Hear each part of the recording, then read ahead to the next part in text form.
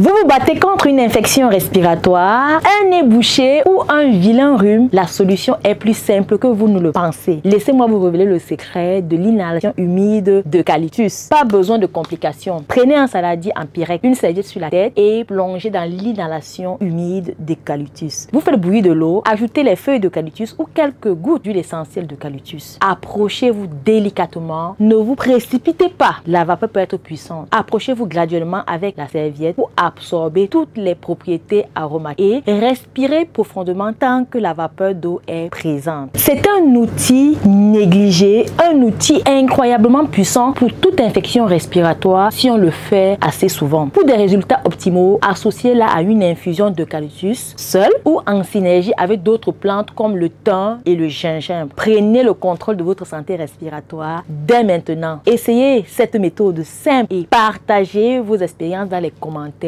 Respirer librement n'a jamais été aussi facile avec l'eucalyptus.